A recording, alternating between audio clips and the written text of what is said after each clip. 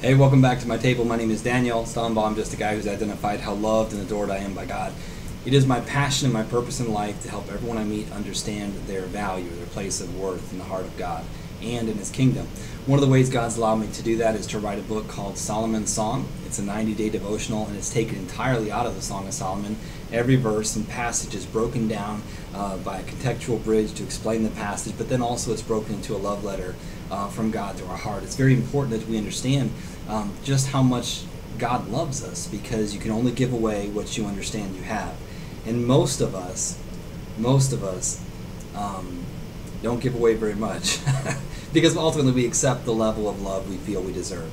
And most of us walk around because of our um, behavior or accomplishments in the past, good or bad. Uh, we tend to adjust in our mind how much love we're actually worth from God.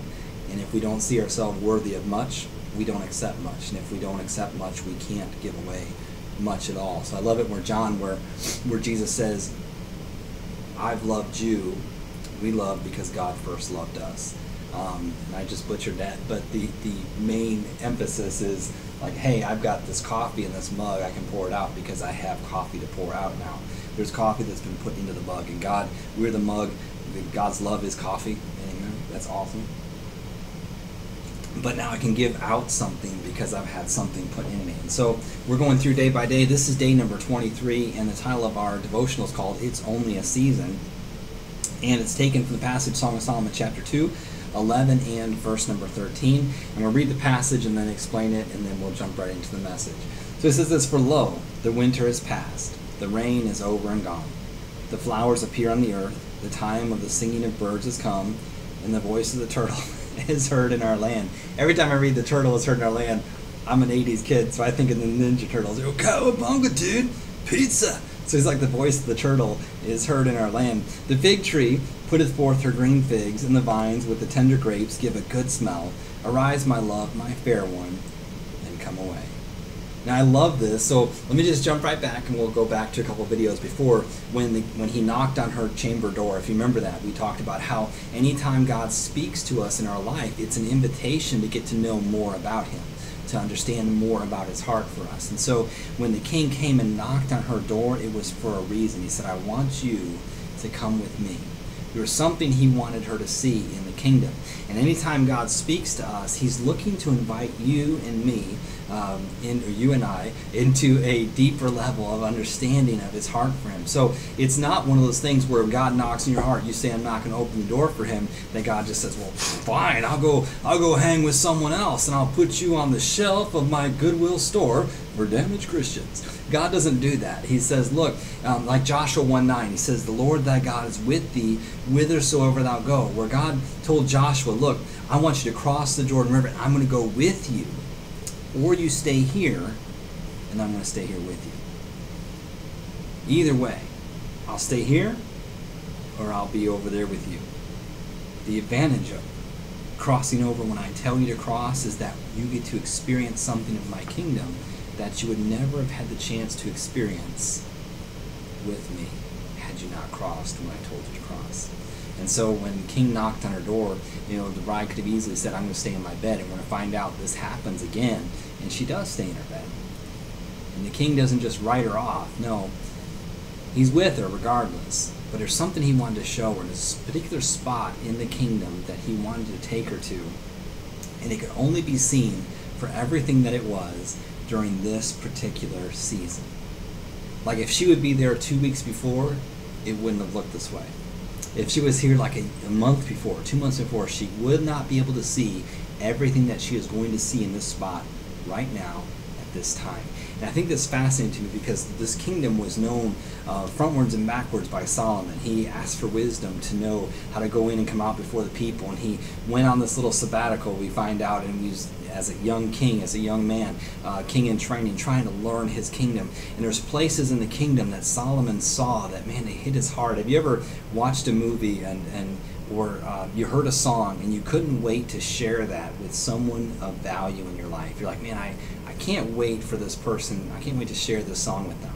I can't wait for to share this video with them. I can't wait to to experience this restaurant with them or this activity with them because I really want to them to be there when they. I want to be there for the first time when they see this. Whether it's um, I went to a, a, a restaurant, a Chinese restaurant and I had tea. I've never really had tea before at a restaurant, the hot tea where they bring the kettle out in these little tiny, you know, kettle cups, and it was the most amazing experience of my life drinking that tea. I was like, man, this is awesome. What kind? I wrote down. I said, where can I get this tea at? And they, here's the brand at Walmart that's closest to it, and, I was like, it's not going to taste as good if it's not from these cast iron kettles. And so now I'm on this hunt for cast iron Tsubin. It's the Japanese hobnail kettle that with the little cups and the hob, little cast iron plate it sits on. I want to recreate as much as possible because I really enjoyed it. And I was like, man, thank you for taking me here and showing me this. And man, just those, those places where you're just like, man, I can't wait to show this. I can't wait to experience this with this person.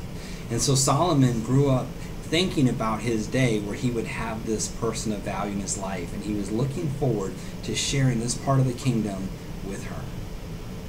And man, every time that season passed, he would see that, and he was like, oh man, it's not the right season yet. Nope, not the right season yet uh, not the right time yet, but when she's here, she's going to see it. And the day came where he met her, and in his mind, he'd already thought about this season. He was already prepared. He, he goes into details. He's like, Look, this is the time on the earth when the singing of birds has come, the voice of the turtle is heard, the fig tree puts forth a green fig, the vine with the tender grapes give a good smell. It was this awesome time, this moment where it would only happen. He's like, Man, I got her to get her to see this. And let me just say this that Solomon had places in the kingdom that were special to his heart. And he knew the season when it was perfect to display the beauty that those places held. Let's just jump right to the message here. Because there are places in the kingdom of God that God can only take you when the season is just there are only there are places in God's kingdom with you that He can only take you. There are mountaintops that He can only take you. There's valleys that He can only take you, and there's arbors and there's vineyards and there's meadows and there's different places of rest and places of joy and excitement and places of um, adrenaline rushes that God can only take you in your journey with Him when the season is just right. And don't rush seasons. Don't rush. Had she said, Take me everywhere in the kingdom, no doubt Solomon would have taken her to the spot. But had she been there two months prior, it would have been not the right season to enjoy everything that that seasonal, that that place held for a season. It would have been, uh, it would, she would not be able to experience the full depth of beauty of the sounds and the fragrances and all of the richness that came from that place had she rushed the seasons. And man, don't rush the seasons with God. And if you're in a place that's frustrating because maybe you're not moving in the way that you think you should move, let me just say that we um, that that pro that um, preparation time is never wasted time. I mean, we equate busyness with productivity, and if I'm not busy, I'm not being productive. But the truth is that there are seasons of stillness where he says, Be still and know that I am. We make that to be still and know that I'm God. Let God move in my stay. Yes, I understand that. I believe that. But I believe if you look at the passage, be still and know that I am. I am is God's name. He says, be still and know me. Like there are seasons where you have to be still in order to know God. And you won't be able to experience a depth and a beauty in your relationship with Him if you're not in a place where you can effectively listen to it and you shut the distractions and noises off. And he said, Look, come away with me because there's all of this stuff is happening and I want you to see it. I dreamt of you seeing this place. And in my mind, I fantasized about the day I would take you here and I would watch your eyes take in the beauty of this place. And I would stand there. You'd be oblivious to me because of the sights and the sounds. And I would just stare at you and, and watch you take all of this in and wonder. Because I know you'll get the beauty. I know it'll have the same effect on your heart that it does on mine. There are places and times and things that God has led me into with Him that I would not have enjoyed going into those places two months prior, three months prior, a year prior. Give God time to direct you into the seasonal sights. So God extends invitations to us to experience those sights with Him only when our season is right. Everything in your past seasons have prepared you for your present season. I gotta stop and just say that for just a minute. Everything in your past seasons have prepared you for your present seasons. The past seasons for this girl held a time where she was abused and she was abandoned and she was alone. Her past seasons held tears for her, her past seasons held brokenness, her past seasons held rejection. They held wounding, they held hurts. But those seasons prepared her for this one. Had any experience in her life been any different, she would not be standing in this spot with the king of the land. She would not be here looking at him and looking at this area of kingdom and not looking back saying, This this is my home now, this is my life now. I couldn't have even comprehended this when I was in the vineyard. I couldn't have even comprehended love from someone that came from their heart for me when I was abused. I can't even comprehend what it means to have someone put their arms around me because they want to put their arms around me. I can't understand that. I can't understand somebody caring enough to say, "What's wrong? Are you having a good?" I can't remember. I can't even comprehend the love that she was experiencing. She was thinking this when she's looking here, and every season prior to that had its place in her story. It was like the chapters in a book you know you you read this and it's like some chapters are good and some chapters are bad and some chapters we wish that maybe we didn't have to read and we never want to read those chapters again but they've got to be read in the order. They've got to be read in the in the layout that they have because that's what makes the story. The heroes and the villains they make the story and if you try to scrub one element out of it it's not going to set right at all. I i think of cinderella. If you read to the part where you know she rushed away from the ball and she left the glass slipper and the pumpkin carriage turned back into a pumpkin and the footmen back into mice and, and all the different changes went back and she found herself locked in the tower and you close the book and say that's it. I'm done with this story. You miss out on the prince following her. How do you find a princess? You follow the footprints my daughter's joke it's really corny I can't believe I just said that. But you, you you'd miss out on the fact that she got the prince. If you read the Bible and David and Goliath, and Goliath is charging David with the sling, and I'm going to kill you, and you close the book, and man, that's traumatic. Because what happened to him? Happened to him? Because all accounts, Goliath should have won that battle, but it's that chapter, that that part in the story where Goliath threatens him and, and tries to put fear into David that, man, it's that part. It has to be there because you flip over and you find where David looks at Goliath and he says, That's all you're bringing? You're fighting me with a sword and a spear and a shield, and, and that's all you're bringing against the God of the universe? You know. he was like, what? Hefty, hefty, hefty. He's like, man, that's it? That's what you're challenging God with? Are you insane? You know, you're going to miss that part of it man, if you look at Jesus on the cross and he's saying, Father, why have you forsaken me? And you close the book, you miss the part where there's a resurrection. It's part of that story, it's part of that season, has got to be in that story. And your pain has got to be part of your story. It's perfected you. It has prepared you for this season with God when He says, Let me lead you into this uh, aspect of relationship and now stand with me. And look out over your new home and everything that you went through, it's done. But it's necessary to bring your heart to understand me and to be receptive to me in the way that you understand me and in the way that you're receptive to me because of it. Are no wasted years in our life. You don't have any wasted years.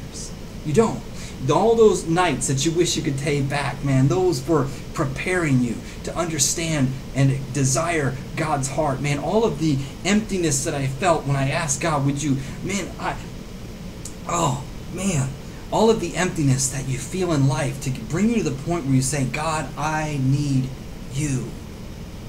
I'm hungry for you. Every point of rejection, man, I would gladly take it again because it brought me to an understanding of God's heart that it set me free. Set me free. It's ignited me, boom, like a flame. It's like the Holy Spirit is called dunamis. Man, it's like dynamite. Boom, everything changed, and dynamite changes a room. And the, the love of God, when it's inside you, understands you. Nothing in that room is the same. It's like something blew up in here. Shazam! The barn doors got blown off. You, you see it because it's there. And so I want to challenge you and encourage you with that. Man, there are seasons that are that are for you at a certain time. And man, every season in your life is necessary to bring you to the point where when the king knocks on your heart door and says, Come away with me, come here, babe, I want to show you something. Man, the Holy Spirit says, Come with me, I want to show you something. Man, I'm ready, I'm going. I don't want to miss this. I want to miss it man prepares you. So trust Him with your present season and let Him bring your future to you. Trust Him with this season. Are you confused? Are you broken? Are you wounded? Trust Him with this season and let Him bring your future to you. So here's my question for you. Every day I'm going to ask you a question. What things about your current season do you see that your past has prepared you for? What are some things now, where you're at right now, that you can look back on your life and say, had this been different, I would not be here. I would not be able to understand God in the way that I understand now. Had this not happened, I needed this and this and this and this and this. I needed those things. I may not have liked them all. I may not have wanted them all. I would maybe have chosen something completely different. But I didn't. I couldn't. But I had them, and I look back and say, yes, they were, without a doubt, necessary for my today. That's your question. Thank you for being with me. That's our devotional today. Join me next time. We're talking about God's safe house. This is one of my favorite passages because it has an electric meaning for me. God's safe house. God is a place for you that's like a safe house. And when you discover it, it's like, ah, I mean, it just it blows you away. It blew me away when I, when I saw this passage. I, I got to tell you the story about this passage and how it means what it means to me um, when we meet again next time. So, God's Safe House is day uh, next time we meet today. Thank you very much for joining me for day 23. Have a fantastic day, and we'll talk to you later. Bye bye.